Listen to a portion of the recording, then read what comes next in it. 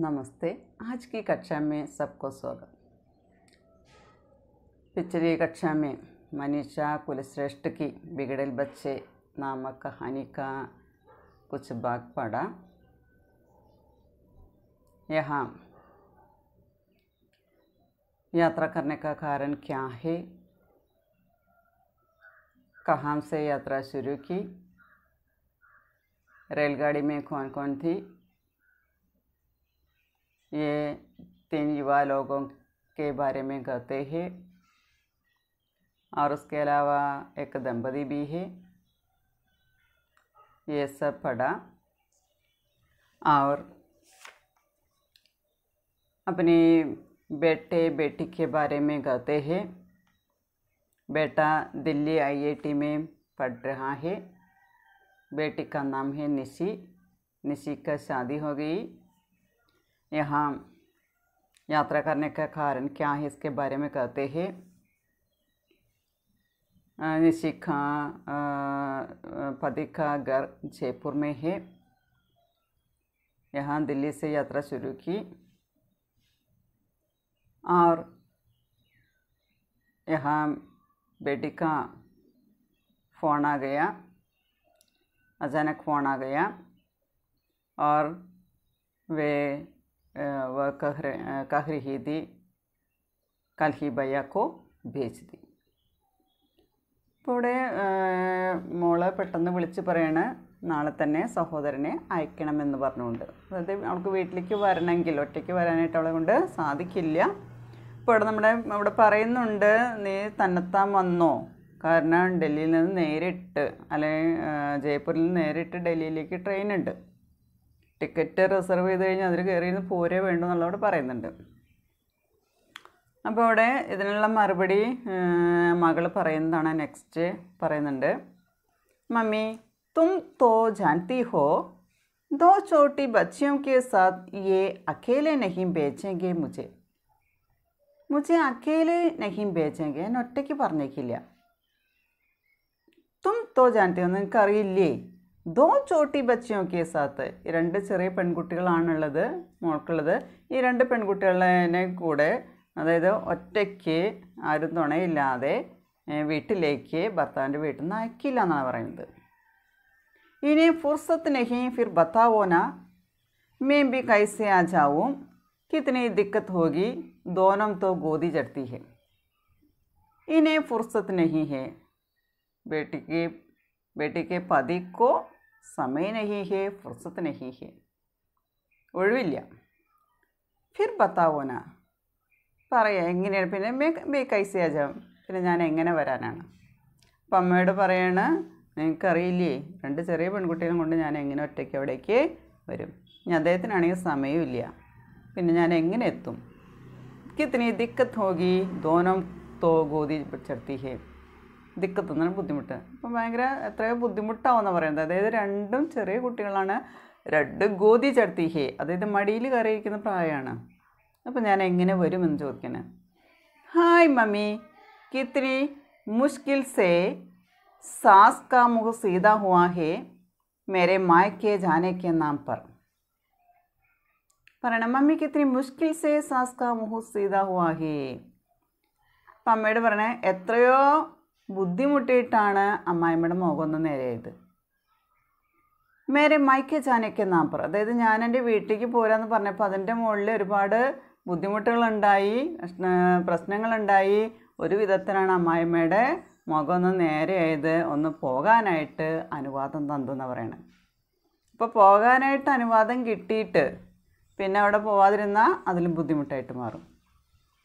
അപ്പോൾ അവൾ അവളുടെ ബുദ്ധിമുട്ട് പറയാണ് ഒറ്റയ്ക്ക് അവർ പറഞ്ഞേക്കില്ല ഭർത്താവിനാണെങ്കിൽ സമയമില്ല. അച്ഛ അച്ഛ മേ ഹി. എന്നാൽ ശരി ശരി ഞാൻ തന്നെ വരാം എന്ന് പറഞ്ഞിട്ട് അവിടെ വെക്കണം.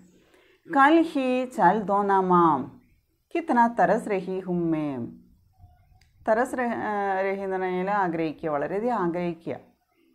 കൽഹി ചൽദോനാമാം അപ്പം അമ്മയോട് പറയണം നാളെ തന്നെ പോന്നോളാം പറയണം. കൽഹി ചൽദോനമ്മ നാളെ തന്നെ വരില്ലേ? കിത്തന തരശ്രഹീഹും മേഘത്തിന കിത്തന തരശ്രഹീഹും ഞാൻ ഒരുപാട് ആഗ്രഹിച്ചിരിക്കുകയാണ്. അപ്പോൾ അമ്മ പറയണ ദേക്തിഹും ഞാൻ നോക്കട്ടെ എന്ന് പറയണം. അപ്പോൾ എത്രയും പെട്ടെന്ന് വന്ന് അവളതിനെ കൂട്ടിക്കൊണ്ട് പോകണം എന്നാണ് അവൾ അവിടുന്ന് പറയുന്നത്. ബസ് ഫെയർ സുബ സുബ ട്രെയിൻ മേ ബൈത്തേക്ക് മിഠായിലെത്തി. അങ്ങനെ സുബ സുബ ട്രെയിൻ മേ ബൈത്തേക്ക് മിഠായിലെത്തി. അതേ രാവിലെ ട്രെയിനിൽ കയറിയിരിക്കുന്നതാണ്. മിഠായിലെത്തി. അതായത് മിഠായി വാങ്ങിക്കണം എന്ന് വിചാരിച്ചു ട്രെയിനിൽ രാവിലെ തന്നെ കയറി ഇരുന്നതാണ് അൽവർ സേഹി ദോ കിലോ മിൽക്ക് കേക്ക് ലേ ചൽത്തി ഹും അപ്പോൾ അൽവർ സ്റ്റേഷനിൽ നിന്ന് രണ്ട് കിലോ മിൽക്ക് കേക്ക് കൂടെ കൊണ്ടുപോകുന്നുണ്ട്. വഹാം ജയ്പൂർ മേ തോ സ്റ്റേഷൻ പർ ദാമോദ് ലേനെ ആയെങ്കിൽ ഉൻകെ സാമനെ മിഠായി ബല അച്ചി ലഗൂങ്കി. പറയണേ ജയ്പൂരിൽ അവിടെ ചെന്ന് കഴിഞ്ഞ സ്റ്റേഷനിൽ ദാമാദ് ലേനയായെങ്കിൽ കൂട്ടിക്കൊണ്ടുപോകാനായിട്ട് ആര് വന്നിട്ടുണ്ടെന്ന് പറയുന്നത്? ദാമാദ്. മരുമകൻ എത്തിയിട്ടുണ്ടാവും. അപ്പോൾ അവിടെ ദാമ ഇവിടെ മരുമകൻ ജയ്പൂരിൽ വന്ന് ഇറങ്ങുന്ന സമയത്ത് കൂട്ടിക്കൊണ്ടുപോകാനായിട്ട് അവിടെ വന്ന് നിൽക്കുന്നുണ്ടാവും. ഉനക്ക് സാമനെ മിഠായിലെത്തി ബല അച്ചി ലഘുങ്കി. അപ്പോൾ ആ മരുമകന്റെ മുന്നിൽ വെച്ച് മിഠായി എടുക്കാൻ പോകാന്നുണ്ടെങ്കിൽ അതത്ര നല്ല കാര്യമല്ല. പലഹാരം വാങ്ങിക്കാൻ പറയുന്നത് നല്ല കാര്യമല്ല. മേനെ അൽവർ ആത്ത ദേഖ് പേഴ്സ് സംഭാല. അപ്പോൾ അൽവർ സ്റ്റേഷനിൽ എത്തുന്നിടപ്പോൾ ഞാൻ പേഴ്സൊക്കെ സൂക്ഷിച്ച് കയ്യിൽ വെച്ചു. ചുട്കെ സെ കഹാ കി സാമാൻ കാ ഖ്യാൽ രഖി. അപ്പോൾ അൽവർ സ്റ്റേഷനിൽ വണ്ടി അവിടേക്ക് എത്തുകയാണ്. അപ്പോൾ അൽവർ സ്റ്റേഷനിൽ എത്തിയപ്പോൾ പേഴ്സൊക്കെ കയ്യിലെടുത്ത് വെച്ചു. ചുട്കി സെ കഹാ ചോട്ടെ കഹാ. ആ ചെറിയ ആൺകുട്ടിയോട് പറഞ്ഞു സാമാൻ കാ ഖ്യാൽ രഖി ആ സാധനങ്ങൾക്കൊന്ന് ശ്രദ്ധിച്ചോളൂ എന്ന് പറയണം. ബാക്കിയുള്ളവരും അവിടെ കിടന്നുറങ്ങുകയാണ് ഡോക്ടർ ദമ്പതി ഊപ്പർ കി ഖാലി ബർത്തോ പർ ജാക്കർ ലേഡ് ഗേത്തെ അപ്പോൾ ഡോക്ടർ ദമ്പതിമാരെ അത് ഡോക്ടറും ഭാര്യയും അധ്യാപികയെ ഭാര്യ അവിടെ ഇരുന്നിട്ട് റമ്മി കളിച്ചുകൊണ്ടിരിക്കുന്നത് ഇപ്പോൾ അവർ രണ്ടുപേരും അവരെ ഊപ്പർ കി ഖാലി ബർത്തോം പർ അതായത് മുകളിൽ ഖാലി ബർത്തോം പർ അതായത് ഒഴിഞ്ഞെടുക്കുന്ന ബർത്തിൽ കയറിയിട്ട് ലേഡ് കേത്തെ അവരെ കിടന്നിരുന്നു. അപ്പോൾ അവർ ഉറങ്ങാനായിട്ട് ബർത്തിൽ കയറി കിടന്നിരുന്നു.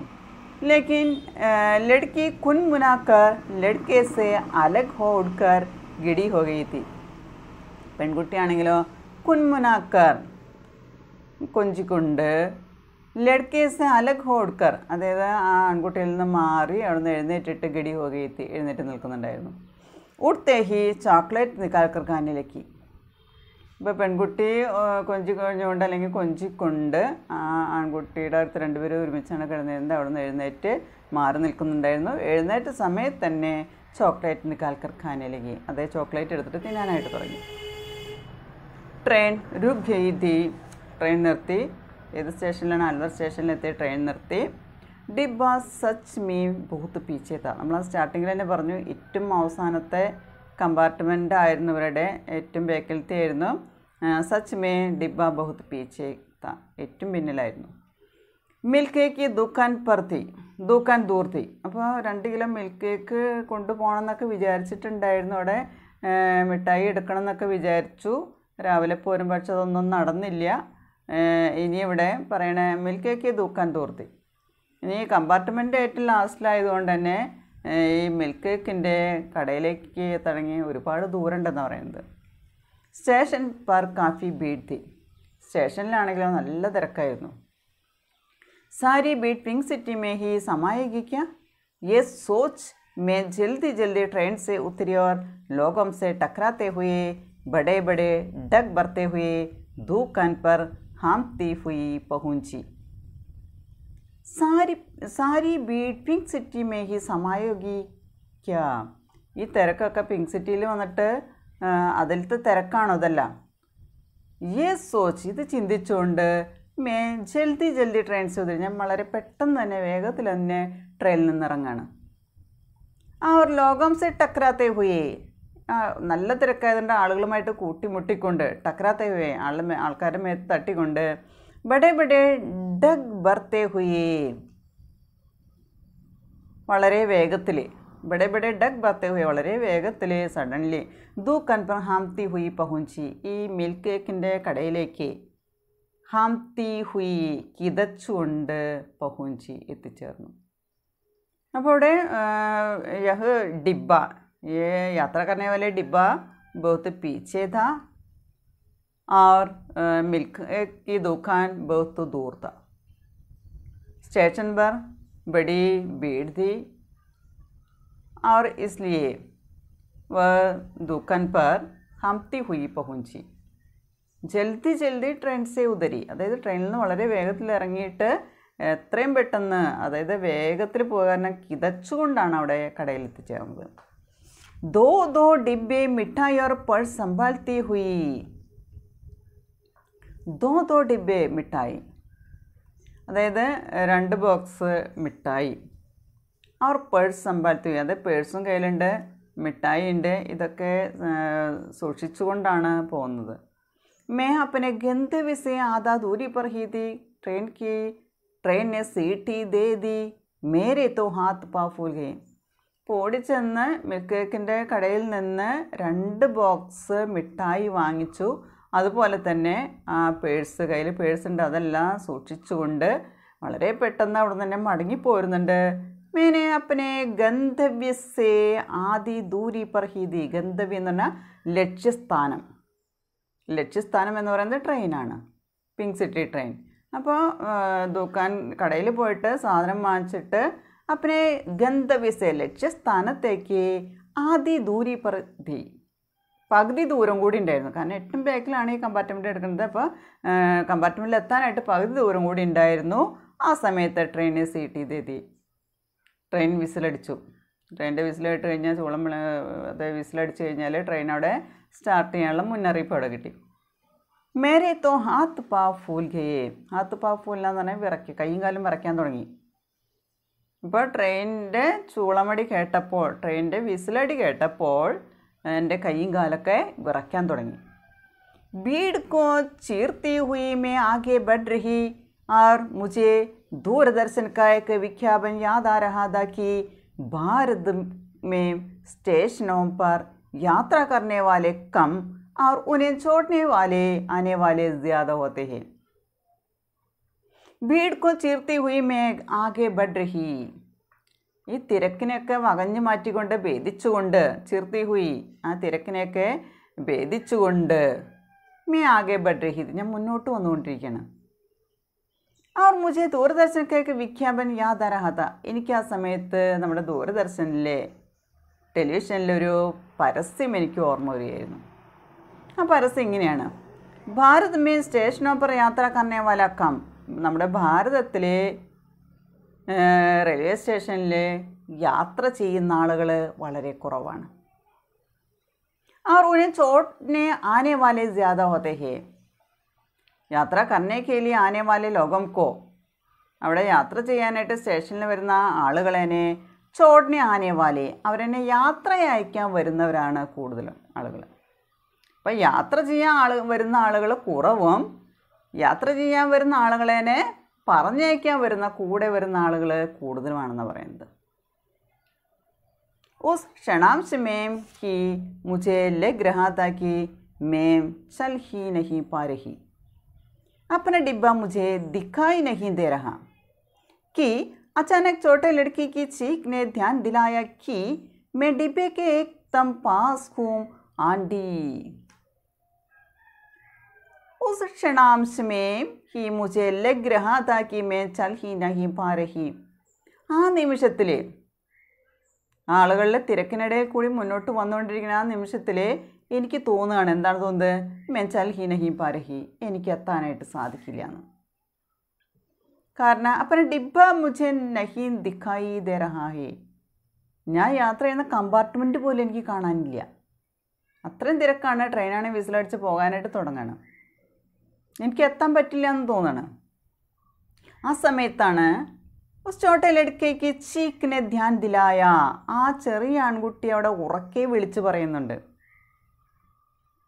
May ഡിബേക്ക് ഏക്തം pass home aunty aunty എന്ന് ഉറക്കെ വിളിക്കുന്ന ശബ്ദം കേട്ടപ്പോൾ ആ ചെറിയ ആൺകുട്ടി അവനോടാണ് സാധനങ്ങളൊക്കെ നോക്കാൻ പറഞ്ഞിട്ട് ഇറങ്ങിപ്പോകുന്നത് ആ കുട്ടിയുടെ ഉറക്കെയുള്ള വിളി കേട്ടു ആൻറ്റി എന്നുള്ള വിളി കേട്ടപ്പോഴാണ് മനസ്സിലായത് മേ ഡിബേക്ക് ഏക്തം പാസ് ഹേ ഞാൻ കമ്പാർട്ട്മെൻറ്റിൻ്റെ അടുത്ത് വളരെ അടുത്ത് എത്തി എന്നുള്ളത് എനിക്ക് മനസ്സിലായത് അപ്പോൾ ഇവിടെ ആ, ഇവിടെ ചോക്ലേറ്റ് ഖരീദിനെ के लिए अलवर स्टेशन में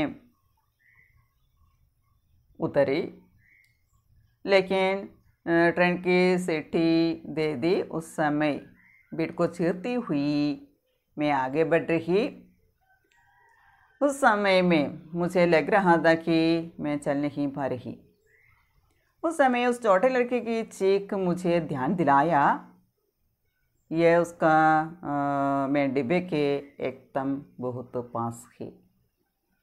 അപ്പം ഞാൻ വളരെ അടുത്തെത്തി എന്നുള്ളത് മനസ്സിലായത് ആ കുട്ടിയുടെ വിളി കേട്ടിട്ടാണ് മനസ്സിലായതെന്ന് പറയുന്നത് दरवाजे के पास भीड़ थी मेरे पीछे भीड़ थी मैंने किसी तरह दरवाजे का हैंडल पकड़ा और पैर बढ़ाया ही था कि ट्रेन थोड़ा तेज रेंगने लगी मैं बुरी तरह से प्लेटफॉर्म पर गिर पड़ी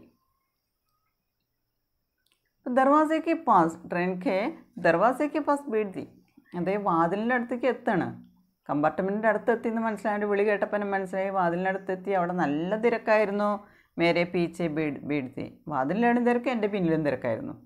അപ്പോൾ ആളുകളിലെ ആളുകളിലും ഭയങ്കര തിരക്കായിരുന്നു. ക്രൗഡ് ഭയങ്കരമായിട്ടുണ്ടായിരുന്നു പറയുന്നത്. മേനെ കിസി തര ദർവാസേക്ക ഹാൻഡിൽ പക്കട. ഞാൻ എങ്ങനെയോ ഈ വാതിലിന്റെ ട്രെയിനിൽ കയറാനുള്ള ആ വാതിലിന്റെ ഹാൻഡിൽ പിടിച്ചു എന്ന് പറയുന്നത്. അവർ പയർ ബടായാതാക്കി. അതിനെ കാലെടുത്ത് വെക്കാനായിട്ട് ഉയർത്താണ്. ആ സമയത്ത് ട്രെയിൻ തോടാത്തേ ശ്രേങ്കിലേക്ക് ട്രെയിൻ വളരെ വേഗത്തിൽ നീങ്ങാനായിട്ട് തുടങ്ങി. രേങ്കന നീങ്ങ ഇഴയുക എന്നുള്ള അർത്ഥം. അപ്പോൾ വിസിലടിച്ചിട്ടുണ്ടായിരുന്നു. അങ്ങനെ ഓടി വന്ന് തിരക്കിനിടയിൽ കൂടി ഓടി വന്ന് വാതിലിന്റെ ഹാൻഡിൽ പിടിച്ചു കാൽ ഉയർത്തി വെക്കുകയായിരുന്നു. ആ സമയത്താണ് ട്രെയിൻ പെട്ടെന്ന് വേഗത്തിൽ പോകാൻ തുടങ്ങി. മേം പുരി തെരേസെ പ്ലാറ്റ്ഫോം പർ കിർപ്പടി കാലെടുത്ത് വെച്ച് ഞാൻ ആ പ്ലാറ്റ്ഫോമിലവിടെ വീണുപോയി പുരി തെര പ്ലാറ്റ്ഫോം പർ കിർപ്പടി ഞാൻ ആ പ്ലാറ്റ്ഫോമിൽ താഴെ വീണു. പയർ ജിയാദ ബഡ് ഗയാ ഹോത്താത്തോ ദർവാസേ ദർവാസെ പർ പട്രിയോം കെ ബീച്ച് ഗിസട്ട് ഹിയോതി ഈ കാൽ നന്നായി ഉയർത്തിയിരുന്നുവെങ്കിൽ എന്തുണ്ടാകുമായിരുന്നു? ദർവാസയ്ക്ക് പട്രിയം കെ ബീച്ച് അതായത് വാതിലിന്റെയും ആ പാളത്തിന്റെയും ഇടയിലെ പട്രി തന്നെ പാളം റെയിൽ പാളത്തിന്റെ ഇടയിലെ ഗിസട്ട് ഹി ഹൂത്തി അത് ഉരഞ്ഞ് തെന്നുമായിരുന്നു. അപ്പോൾ കാൽ ഉരയുമായിരുന്നു പറയുന്നത്. വാതിലിന്റെയും പാളത്തിന്റെ ഇടയിൽ കിടന്ന് വാ കാൽ ഉരയുമായിരുന്നു പറയുന്നത്. അപ്പോൾ ഒന്നുകൂടി ഉയർത്തിയിരുന്നെങ്കിൽ ഉണ്ടാകുന്നൊരു കാര്യം പറയുന്നത്. ഗിർത്തെ ഗിർത്തെ മുജെ ചോട്ടെ ലഡ്ക്കേക്ക് ചീറ്റ് സുനായ് ദീദി അപ്പോൾ വീഴുന്ന സമയത്ത് ആ ചെറിയ കുട്ടിയുടെ ഉറക്കെയുള്ള വിളി ഇങ്ങനെ കേൾക്കൊ കേട്ടുകൊണ്ടിരിക്കുന്നുണ്ട് ഇവർ उसके बाद मुझ पर झुकी भीड़ एक बम वर की तरह घूमती नजर आई और फिर कुछ कहीं गडप से डूब गया അപ്പോൾ വീഴാൻ പോകുന്ന സമയത്ത് ചെറിയ കുട്ടിയുടെ ഉറക്കെയുള്ള വിളി കേൾക്കുന്നുണ്ട് ആൻറ്റി ആൻറ്റി എന്ന് വിളി കേൾക്കുന്നുണ്ട് പെട്ടെന്ന് കയ്യിൽ നിന്ന് തെന്നി മാറി എന്താ പറയുക കാ- പിടിച്ചതായിരുന്നു. പക്ഷേ ഹാൻഡിൽ പിടിത്തം കിട്ടിയില്ല. അവിടുന്ന് വഴുതി താഴെ വീ പ്ലാറ്റ്ഫോമിൽ വീഴാണ്. അങ്ങനെ ഉസ്കെ ബാദ് മുജ് പർ ജുക്കി ബീഡ്. അതിന് ശേഷം എന്റെ ചുറ്റും കൂടിയ ആളുകൾ ആൾക്കൂട്ടം. അയാൾക്ക് ബംവർക്കി തര ഗൂംത്തി എന്റെ ചുറ്റൊരു ചുഴി പോലെ കറങ്ങാനായിട്ട് തുടങ്ങി. തല കറങ്ങി. ആർ ഫിർ കുച്ച് കഹി ഗഡബ് സേ പിന്നെ എങ്ങനെയോ അവിടെ വീണു പോയി എന്ന് പറയുന്നത് അതായത് ബോധമില്ലാതെ എന്ന് പറയുന്നത് ठंडे पानी की तेज चिपाक चबाक से मैंने अपने छेदन का चोर ढूंढा और अवच्छेदन की सीढ़ियाँ फांद दी होश में आने की जल्दी में मैं उस आघात आघात की पारदर्शी झिल्ली के नीचे से मुट्ठियाँ बांध बांध कर चीख रही थी जो कि अस्पष्ट गोम गोम में बदलती जा रही थी ടണ്ടേ പനിക്ക് തേ ചപാക് സേ ചപാക് എന്ന് പറഞ്ഞാൽ തളിക്കുക തണുത്ത വെള്ളം ആ, ശക്തമായിട്ട് തേസ് ചപാക് സേ തണുത്ത വെള്ളം ശക്തമായിട്ട് തളിച്ചു കഴിഞ്ഞപ്പോൾ മേനെ പിന്നെ ചേതൻ കാച്ചോർഡുണ്ട എൻ്റെ ബോധം അവിടെ ഉണർന്നു അവർ അവച്ഛേദൻ കി സീഡിയാൻ ഫാന്തി അതായത് ബോധമില്ലാത്ത അവസ്ഥയിൽ നിന്നൊക്കെ ആ സ്റ്റെപ്പൊക്കെ ചാടി കടന്നുകൊണ്ട് ഹോഷ് മ്യാനിക്ക് ജൽദി മേ മേ ഉസ് ആഘാത് കി പാർദശി ജില്ലിക്ക് നീജേസെ മുട്ടിയാം. അപ്പോൾ ആ ബോധത്തിലേക്ക് വരാനുള്ള തിടുക്കത്തിൽ തണുത്ത വെള്ളം മുഖത്തേക്ക് തെളിച്ചു കഴിഞ്ഞപ്പോൾ ബോധം ഉണർന്നു പറയുന്നത് ഉണർവുണ്ടായി. ആ ബോധത്തിന്റെ ആ സ്റ്റെപ്പുകളൊക്കെ ചാടിക്കടന്നുകൊണ്ട് ഹോസ്മി ആനയ്ക്ക് അതായത് ബോധത്തിലേക്ക് വരാനുള്ള തിടുക്കത്തിൽ മേ ഉസ് ആഘാത് കി പാർദർശി ജില്ലിക്ക്. ജില്ലി എന്ന് പറയുന്നത് നേരിയ തൊലി അതായത് ആ ആഘാതത്തിന്റെ ആ വീഴ്ചയുടെ എന്താ പറയുക ഏറ്റവും അടുത്ത് കാണുന്ന അതായത് ആ തൊലി പൊട്ടിയിട്ട് നീ ജേസി മുട്ടിയാം ബാന്ത് ബാന്ത് കർച്ചി രഹീതി കൈയൊക്കെ താഴേക്ക് കൈകൾ കെട്ടിയിട്ട് ഉറക്കെ വിളിച്ചുകൊണ്ടിരിക്കുകയാണ്. വിളിച്ച് കരഞ്ഞുകൊണ്ടിരിക്കുകയാണ്. അതായത് വീണ ആഘാതത്തിൽ ജോക്കി അസ്പഷ്ട ഗോങ്കോമേ ബദൽത്തി ജരഹി ആ കരച്ചിലൊക്കെ ആ നിലവിളിയൊക്കെ അസ്പഷ്ടമായിട്ടുള്ള സ്പഷ്ടമല്ലാത്ത ശബ്ദമായിട്ട് മാറിക്കൊണ്ടിരിക്കുകയാണ്. അപ്പോൾ ബോധത്തിലേക്ക് വരുന്ന സമയത്ത് ആഘാതത്തിന്റെ ശക്തിയിൽ കരഞ്ഞുകൊണ്ടിരിക്കുന്നുണ്ട്. മുട്ടിയാൻ ബാന്ത് ബാന്ത് കർച്ചീക്ക് രഹീതി അതായത് എന്താ പറയുക നമ്മളെ കൈ ചുരുട്ടിയിട്ട് അല്ലെങ്കിൽ കൈ കെട്ടിയിട്ട് അവിടെ കരഞ്ഞുകൊണ്ടിരിക്കുന്നുണ്ട് ഉറക്കെ എന്തൊക്കെയോ പറഞ്ഞ് കരയുന്നുണ്ട് പക്ഷേ ആ ശബ്ദം വെറുതെ ഗോങ്കും എന്നുള്ള സൗണ്ടുമായിട്ട് സൗണ്ടായിട്ട് അവിടെ മാറിക്കൊണ്ടിരുന്നു ആഖിർക്കാർ മേരെ പ്രഹാരം സേ വഹ് ജില്ലി ഫട്ടി गर्मी और उमस से भरे रेलवे के रिटायरिंग रूम में मैं ബദ് ഹവാസി ചാരോ തരം ദേഖ് നിർഹിതി അപ്പോൾ അവസാനം നമ്മുടെ രേഖയുടെ ഇവിടെ ബോധം ഉണരുകയാണ്. അങ്ങനെ അവസാനം അഖിർക്കാർ അവസാനം മേരെ പ്രഹാരോം സേവ ജില്ലി ഫട്ടി. എന്റെ വീഴ്ചയുടെ ആഘാതത്തിൽ ജില്ലി ഫട്ടി അതായത് നേരിയ തൊലിയൊക്കെ പോയി എന്നാണ് പറയുന്നത്. അവർ ഗർമി അവർ ഉമസ് സേബരെ റെയിൽവേക്ക് റിട്ടയറിംഗ് റൂമേ റിട്ടയറിംഗ് റൂം എന്ന് പറഞ്ഞാൽ വെയിറ്റിംഗ് റൂമാണ് അതായത് ഗർമി റൂമസ് അതായത് നല്ല ചൂടും ഉഷ്ണമൊക്കെ നിറഞ്ഞിട്ടുള്ള റെയിൽവേയുടെ വെയിറ്റിംഗ് റൂമിൽ മേ ബദ് ഹവാസ് ഞാൻ അമ്പരപ്പോട് കൂടിയിട്ട് ബദ് ഹവാസ് ഞാൻ അമ്പരപ്പോട് കൂടിയിട്ട് ചാരോൻ തരഫ് ദേക്രി നാല് ഭാഗത്തേക്ക് നോക്കിക്കൊണ്ടിരിക്കുകയാണ്. ഇപ്പം മുഖത്ത് വെള്ളം തെളിച്ചപ്പോൾ അവിടെ ബോധം വന്നു. ബോധം വന്നപ്പോൾ തൊലി പൊട്ടിയിട്ടുണ്ട് വീഴ്ചയുടെ ആഘാതത്തിൽ തൊലിയൊക്കെ പൊട്ടിയിട്ടുണ്ട് ചോര വരുന്നുണ്ട്. അതിനൊപ്പം തന്നെ വെയിറ്റിംഗ് റൂമിൽ നല്ല ചൂടാണ് ഉഷ്ണമാണ് ഇതൊക്കെ ഉണ്ട്. അതിനൊപ്പം തന്നെ അവിടെ അമ്പരപ്പോട് കൂടി നാല് ഭാഗത്തേക്ക് നോക്കുകയാണ് aunty are you okay doc she open her eyes ആ സമയത്താണ് ഈ ചെറിയ ആൺകുട്ടിയുടെ ശബ്ദം കേൾക്കുന്നത്. Aunty are you okay aunty നിങ്ങൾ ഓക്കെ ആണോ ചോദിക്കുകയാണ് എന്നിട്ട് ഡോക്ടർ പറയണേ doctor she open her eyes ഡോക്ടറെ വിളിച്ചിട്ട് അവൻ പറയണേ ഷീ ഓപ്പൺ ഹെർ ഐസ് അവർ കണ്ണ് തുറന്നു എന്ന് പറയണേ छोटा लड़का मेरे चेहरे से सटा फर्श पर ഹഡ് ബിടായാസ ബൈഠാത ഈ ചെറിയ ആൺകുട്ടി മെഹരെ ചെഹരേസെ സട്ട എൻ്റെ മുഖത്തോട് ചേർന്നുകൊണ്ട് ഫർഷ് പർ തറയിലെ നിലത്ത് ഹഡ്ബഡായാസാബായിട്ടാത്ത വളരെ തിരക്ക് പിടിച്ചോണ്ട് ധൃതി പിടിച്ചോണ്ട്. പിടിച്ചുകൊണ്ട് വിളിച്ചു പറയണ doctor she's open her eyes അവർ കണ്ണു തുറന്നു എന്ന് വളരെ ധൃതിയിൽ വിളിച്ചു പറഞ്ഞുകൊണ്ടിരിക്കുകയാണ്. ഉൻകി ആവാ ഉസ്കി ആവാസ് മേ എക് നേഹ് ഊഷ്മാക്കി ധർത്തരാഹട്ട് എന്ന് പറഞ്ഞാൽ ഉസ്കി ആവാസ് മേ ഉസ് ചോട്ടയിലാക്കിയ ആവാസ് മേ? ആ ചെറിയ ആൺകുട്ടിയുടെ സ്വരത്തിലെ ഏക്ക് നേഹബരി ഏക്ക് സ്നേഹബരി വളരെ സ്നേഹം നിറഞ്ഞിട്ടുള്ള ഒരു സ്നേഹം നിറഞ്ഞിട്ടുള്ള ഊഷ്മാക്കി തർത്തരാഹട്ടി. ആ സ്നേഹത്തിന്റേതായിട്ടുള്ള സ്നേഹം നിറഞ്ഞ ഒരു ഊഷ്മാവിന്റെ ഒരു വല്ലാത്തൊരു സ്നേഹപ്രകടനം അവന്റെ ഉള്ളിൽ നിന്ന് വരുന്നുണ്ടായിരുന്നു.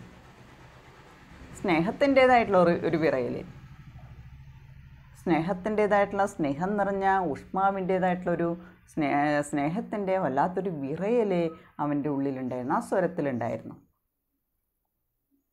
അവിടെ ചോദിക്കുന്നുണ്ട് aunty are you okay doctor she open her eyes വളരെ സ്നേഹം നിറഞ്ഞ ആ ഒരു സ്വരത്തിൽ വിളിച്ചു പറയണം कैसी हैं आप एक अजनबी रेलवे के डॉक्टर ने झुक कर पूछा चिंता की कोई बात नहीं ये यंगस्टर्स नहीं होते तो इनका खुदा को शुक्रिया अदा करें